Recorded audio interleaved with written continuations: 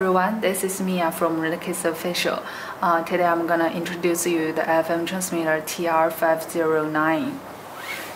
Uh, for this transmitter, uh, this is the package and this is the inside. It will protect the product very well. And this is the audio cable. You can use it for uh, the PC or phones, the menu, and the charger.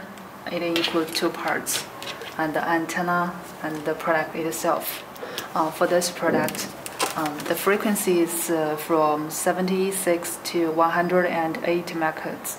So you can change um, between this um, frequency. Uh, for the power, uh, it's uh, uh, it has two powers, low and high. the low power is one watt. The high power is seven watt. Uh, so when you change it to 7, uh, the range can be uh, 200 meters in open area. So it's quite long. And uh, with this product, it's also uh, with the FCC and IC, so you can feel free to use them. Uh, besides, if you have, if you want to know more information, you can get the contact information on the back of the package. Uh, now let me show you this uh, transmitter.